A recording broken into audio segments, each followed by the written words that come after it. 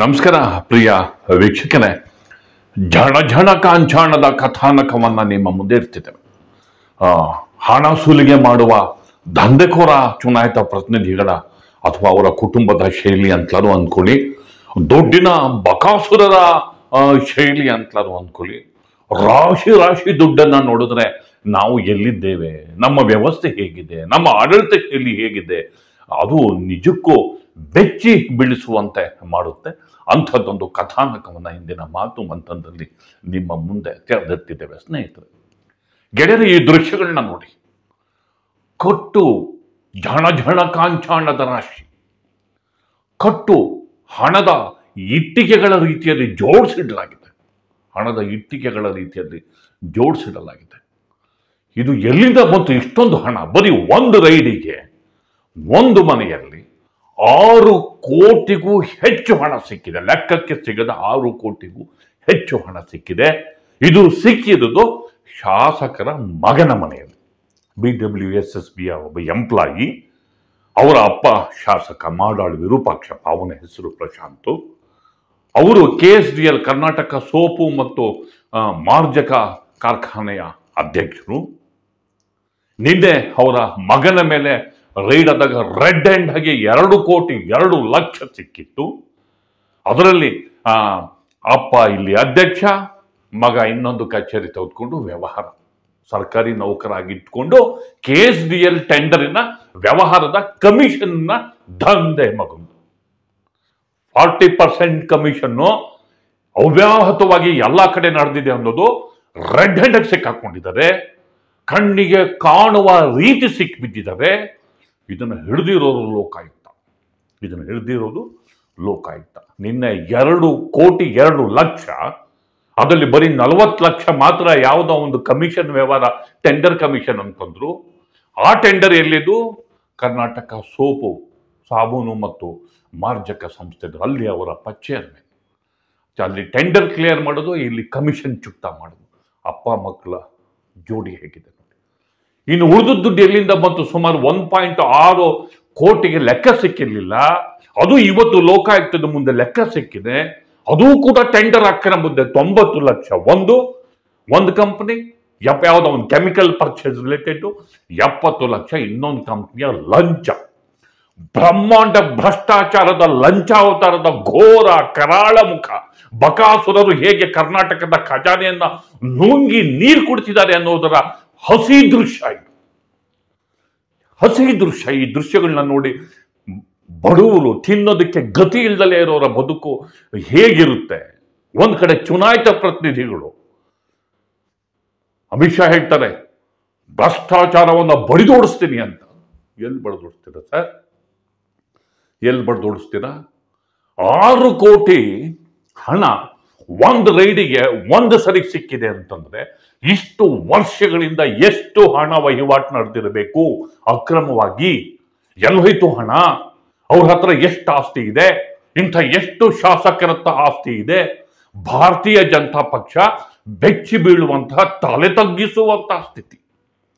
ಬಿಜೆಪಿಗೆ ತೀವ್ರ ಮುಜುಗರ. ಚುನಾವಣೆ ಹೊಸ್ತಿಲಲ್ಲಿ ನಮ್ದೇ ಲೋಕಾಯುಕ್ತ ನಾವೇ ರೈಡ್ ಮಾಡಿಸಿದೀವಿ ಅಂತ ಹೇಳ್ತಾರೆ. ಆದರೂ ಅದೇ ಪಕ್ಷದ ಶಾಸಕರು ಇಂಥ ಸ್ಥಿತಿಗೆ ತಲುಪಿರೋದಿದೆಯಲ್ಲ?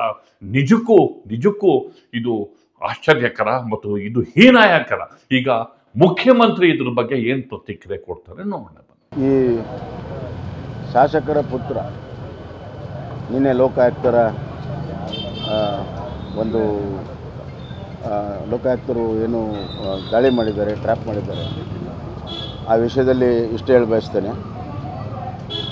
ನಾವು ಲೋಕಾಯುಕ್ತ ಪುನರ್ಸ್ಥಾಪನೆ ಮಾಡಿರುವುದೇ ಮುಕ್ತವಾಗಿ ಭ್ರಷ್ಟಾಚಾರವನ್ನು ನಿಗ್ರಹಿಸಬೇಕು ಅಂತ. ಈ ಲೋಕಾಯುಕ್ತ ಇಲ್ಲದಿದ್ದರೆ ಹಿಂದೆ ಇಂಥ ಹಲವಾರು ಪ್ರಕರಣಗಳು ಕಾಂಗ್ರೆಸ್ಸಲ್ಲಿ ನಡೆದು ಮುಚ್ಚೋಗಿದೆ ನಾವು ನಿಷ್ಪಕ್ಷಪಾತವಾಗಿ ತನಿಖೆ ಮಾಡ್ತೇನೆ ನಾನು ಪದೇ ಪದೇ ಹೇಳ್ತಾ ಇದ್ದೆ. ಈ ವಿಚಾರದಲ್ಲೂ ಕೂಡ ಲೋಕಾಯುಕ್ತ ಸರ್ವ ಸ್ವತಂತ್ರವಾಗಿರುವಂಥ ಒಂದು ಸಂಸ್ಥೆ ನಿಷ್ಪಕ್ಷಪಾತವಾದಂಥ ತನಿಖೆ ಆಗಲಿ, ಯಾರು ತಪ್ಪು ಮಾಡಿದ್ದಾರೆ ಅವ್ರಿಗೆ ಶಿಕ್ಷೆ ಆಗಲಿ ಅನ್ನುವಂಥದ್ದು ನಮ್ಮ ನಿಲುವು. ಹೀಗಾಗಿ ನಾವು ನಮ್ಮ ನಿಲುವೇನಿದೆ ಅದರಲ್ಲಿ ಬದಲಾವಣೆ ಇಲ್ಲ. ಅದರ ಏನೇನು ಮಾಹಿತಿ ಸಿಕ್ಕಿದೆ, ಹಣ ಸಿಕ್ಕಿದೆ, ಅವೆಲ್ಲವೂ ಕೂಡ ಲೋಕಾಯುಕ್ತರ ಇದರಲ್ಲಿದೆ. ಅವು ಮುಕ್ತವಾಗಿ ತನಿಖೆ ಮಾಡಲಿ ನ್ಯಾಯಸಮ್ಮತವಾಗಿ ತನಿಖೆ ಮಾಡಲಿ. ಮತ್ತು ಇದು ಯಾರಿಗೆ ಸೇರಿದ ಹಣ ಯಾರಿಗೋಸ್ಕರ ಆಗಿತ್ತು ಎಲ್ಲವೂ ತನಿಖೆಯಿಂದ ಹೊರಬರಲಿ ಸತ್ಯ ಹೊರಲಿ ಬರಲಿ ಅನ್ನುವಂಥದ್ದೇ ನಮ್ಮ ಉದ್ದೇಶ. ಯಾರು ತಪ್ಪ ಮಾಡಿದ್ದಾರೆ ಅವ್ರು ಶಿಕ್ಷೆ.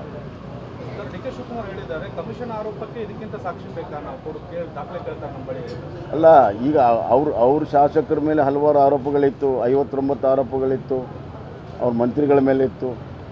ಎ ಸಿ ಬಿ ಇದ್ದಿದ್ದನ್ನು ಮುಚ್ಚಾಕಿದ್ದಾರೆ. ಈಗ ಲೋಕಾಯುಕ್ತ ತನಿಖೆ ಕೊಟ್ಟಿದ್ದೇವೆ. ಆ ಲೋಕಾಯುಕ್ತ ತನಿಖೆ ಆದಾಗ ಅವ್ರದ್ದೆಲ್ಲವೂ ಕೂಡ ಹೊರಗಡೆ ಬರ್ತದೆ. ಅವ್ರು ಮುಚ್ಚಾಕಿರೋದಕ್ಕೆ ಇದೇ ಸಾಕ್ಷಿ. ಎ ಸಿ ಬಿ ಮುಚ್ಚಾಕಿ ನಾಲ್ಕೈದು ವರ್ಷ ಮುಚ್ಚಾಕೊಂಡಿದ್ದಾರಲ್ಲ ಈಗ ಬಹಿರಂಗ ಆಗುತ್ತೆ ಅದು. ಅದರಿಂದ ನಮಗೇನು ಯಾವುದೂ ಮುಚ್ಚಿಡುವಂಥ ಪ್ರಶ್ನೆನೇ ಇಲ್ಲ. ನಾವು ಭಾಳ ಸ್ಪಷ್ಟವಾಗಿ ಅವ್ರು ಹೇಳ್ತಾರೆ ಅಲ್ಲಿ ಜಾರ್ಜ್ ಅವರು ವಿಧಾನಸಭೆಯಲ್ಲಿ ನಿಂತ್ಕೊಂಡು ಇದನ್ನು ಎ ಸಿ ಬಿನೇ ಮುಂದುವರಿಸಬೇಕು ಅಂತ. ಯಾರು ಪರವಾಗಿದ್ದಾರೋ? ಈಗ ಈ ಪ್ರಕರಣ ಇಟ್ಕೊಂಡು ತಾವು ಭಾಳ ದೊಡ್ಡ ಸ್ವಚ್ಛ ಪಕ್ಷ ಅನ್ನೋದಕ್ಕೆ ಸಾಧ್ಯ ಇಲ್ಲ. ಭ್ರಷ್ಟಾಚಾರ ಹಿಂದೂ ಮಾಡಿದ್ದಾರೆ. ಅದರಲ್ಲಿ ಸಾಕಷ್ಟು ಪ್ರಕರಣಗಳಲ್ಲಿ ಹಲವಾರು ಜನ ಅವ್ರ ಮೇಲೆ ಕೇಸು ಆಗಿದೆ, ಎಲ್ಲ ಆಗಿದೆ. ಪ್ರಕರಣಗಳು ತನಿಖೆ ಆಗ್ತಾ ಇದೆ. ಈಗ ಏನು ಅವರು ಮುಚ್ಚಾಕಿದ್ರು, ಅವುಗಳನ್ನು ಕೂಡ ಲೋಕಾಯುಕ್ತ ಕೊಟ್ಟು ತನಿಖೆ ಮಾಡಿಸ್ತಾ ಇದ್ದಾರೆ. ಮುಖ್ಯಮಂತ್ರಿಗಳ ಪ್ರತಿಕ್ರಿಯೆ ನಾವು ನೋಡಿದ್ವಿ. ಅವ್ರು ಏನೇ ಆಗಲಿ, ರೈಡ್ ಮಾಡಿದವರು ಲೋಕಾಯುಕ್ತ ನ್ಯಾಯ, ಲೋಕಾಯುಕ್ತ. ಖುದ್ದು ಲೋಕಾಯುಕ್ತ ನ್ಯಾಯಮೂರ್ತಿ ಇವತ್ತು ಬ್ರೀಫ್ ಮಾಡಿದ್ದಾರೆ. ಟೆಂಡರಿಗೋಸ್ಕರ ಲಂಚ ಇದೆ ಅಂತ ನೇರವಾಗಿ ಹೇಳಿದ್ದಾರೆ. ಶಾಸಕರು, ಮಂಡಳಿಯ ಅಧ್ಯಕ್ಷರು, ಕಾರ್ಖಾನೆಯ ಅಧ್ಯಕ್ಷರು ಟೆಂಡರ್ ಕ್ಲಿಯರ್ ಮಾಡಿದ್ದಕ್ಕೆ ಮಗ, ಮಗನಿಗೆ ಕಂಪನಿಯ, ಕಂಪ್ನಿಯವ್ರು ಹೋಗಿ ಲಂಚ ಕೊಡ್ತಿದ್ರು. ಲಂಚ ಇಸ್ಕೊಳ್ಳೋದು ಎಷ್ಟು ಅಪರಾಧವೋ, ಲಂಚ ಕೊಡೋದು ಅಷ್ಟೇ ಅಪರಾಧ. ನೆರೆಕ್ಟ್ ಮಾಡ್ತಾರೆ ಲೋಕಾಯುಕ್ತರು. ಫಾರ್ಟಿ ಪರ್ಸೆಂಟ್ ಕಮಿಷನ್ ನಡೆದಿರೋದಕ್ಕೆ ಲೋಕಾಯುಕ್ತರ ಬಾಯಲ್ಲೇ ಸಾಕ್ಷಿ ಬಂದ್ರೆ ಮೇಲೆ ಇನ್ನೇನು ಬೇಕು? ಲೋಕಾಯುಕ್ತರ ಪ್ರತಿಕ್ರಿಯೆ ನೋಡೋಣ. ಜನರನ್ನು ಕಸ್ಟಡಿಯಲ್ಲಿ ತೊಗೊಂಡಿದ್ದೀವಿ. ಅದರಲ್ಲಿ ಒಬ್ಬರು ಈ ಅಮೌಂಟ್ ರಿಸೀವ್ ಮಾಡ್ಕೊಳ್ತಾ ಇರುವಂಥ ಅವ್ರ ಪ್ರಶಾಂತ್ ಅಂತ ಅವ್ರ ಹೆಸರು, ಅವರ ಒಬ್ಬ ಅಕೌಂಟೆಂಟ್ ಒಬ್ಬರು ಆನಂತರ ಮೂರು ಜನ ಅಲ್ಲಿ ಬ್ರೈಬ್ ಗಿವರ್ಸ್ ಇದ್ರಂತೆ. ಇವರು ನಮ್ಮ ಶೋಧನೆ ಮಾಡೋ ಟೈಮ್ನಲ್ಲಿ ಹೋದಾಗ ಸರ್ಚ್ ಟೈಮ್ನಲ್ಲಿ ಬ್ರೈಬ್ ಗಿವರ್ಸ್ ಮೂರು ಜನ ಬಂದಿದ್ದರು bribe giving is also an offence Therefore, we have taken them into custody.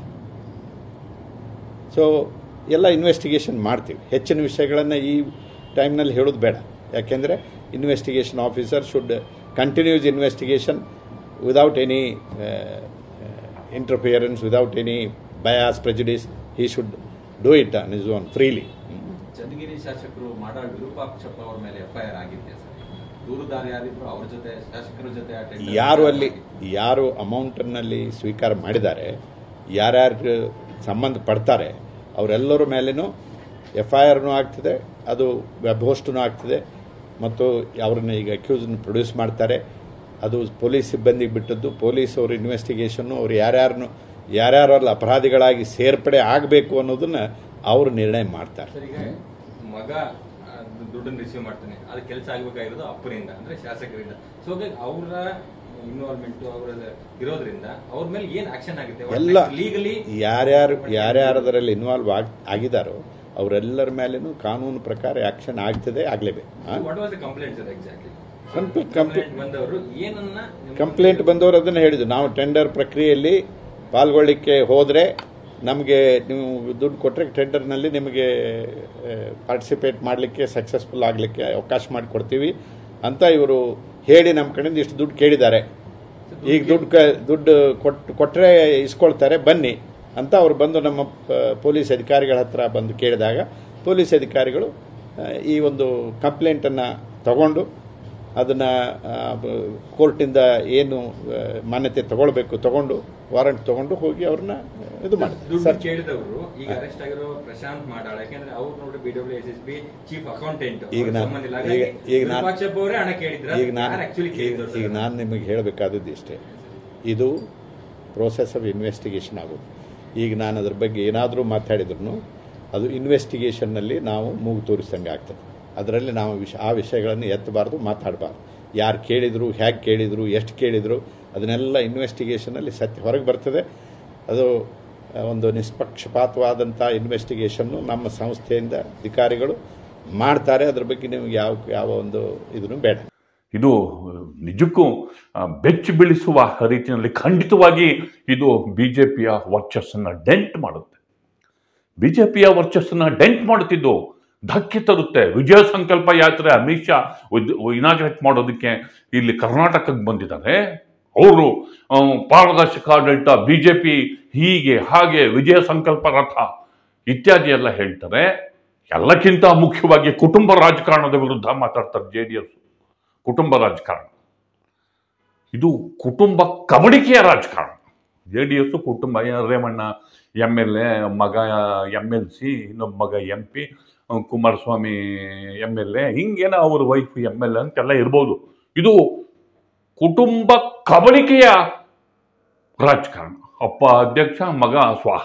ಗುಳುಂಬ ರಾಜಕಾರಣ.